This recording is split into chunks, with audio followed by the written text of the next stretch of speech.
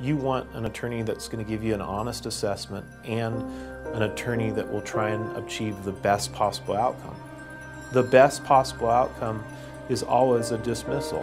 It's important to hire someone with experience handling DWIs because there's specialized training that an attorney needs to receive in order to handle DWIs. I've been to the same school that these police officers go to to administer field sobriety tests. I've attended the National Highway Traffic Safety Administration's Standard Field Sobriety Test Practitioner course. I've also received training in drug recognition and evaluation. That's extremely important because you need to be able to identify the different drug categories and what effect each drug has on a particular person. I can evaluate your case quickly and you know determine whether or not the state should hopefully dismiss your case. If you need my help, call me, call my office. We'll set up a free consultation and I'll sit down and meet with you.